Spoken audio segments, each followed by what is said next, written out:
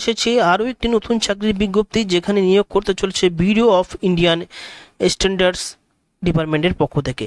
যেখানে পঁচিশ শূন্য পদে নিয়োগ করা হবে, যেখানে রয়েছে assistant director assistant director administrative finance administrative তারপরে মার্কেটিং কম্পিউটার অ্যাপ্রিয়ান্স তো এইসব পদে রয়েছে। টোটাল মিলিয়ে এখন অনেক শূন্য পদ রয়েছে, যেরকম রয়েছে অ্যাডমিনিস্ট্রেশন ফাইন্যান্স পোস্টে পোস্টের জন্য এখানে রয়েছে কিছু শূন্য পদ যেখানে নিয়োগ করা হবে পঁয়ত্রিশ বছরের মধ্যে, তো সেক্ষেত্রে সবকটা পোস্টের জন্য একটি একটি করে শূন্য পদ রয়েছে।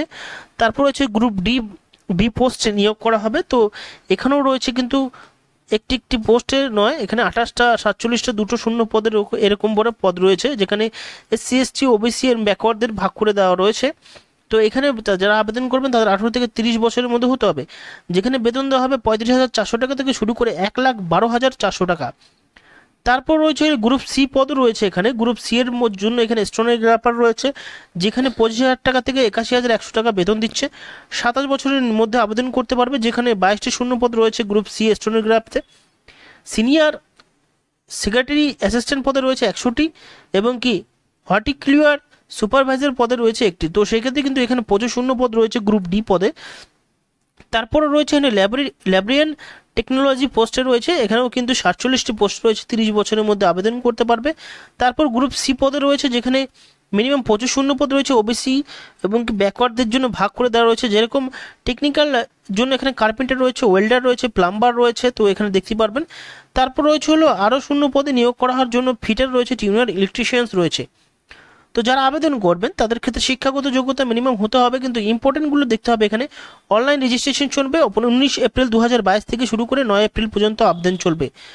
এখানে অ্যাসিস্ট্যান্ট ডিরেক্টরের জন্য মাস্টার ডিগ্রি করতে হবে পোস্ট গ্রাজুয়েশন করতে হবে ইংলিশে পড়াশোনা করতে হবে, হিন্দি মিডিয়াম এবং ইংলিশ মিডিয়াম ভালো পারদর্শী হতে হবে, পাঁচ বছরের, পাঁচ বছর এক্সপিরিয়েন্স থাকতে হবে হিন্দিতে, তাহলে কিন্তু আবেদন করতে পারবে। তারপর রয়েছে হলো অ্যাসিস্ট্যান্ট ডিরেক্টর এখানে মাস্টার ডিগ্রি করতে হবে পার্সোনাল অল ইন্ডিয়ার পক্ষ থেকে এবং কি relevant central state union territories government হিসাবে, তারপর হচ্ছে assistant director marketing consumer affairs তো এখানেও কিন্তু মাস্টার ডিগ্রি করতে হবে।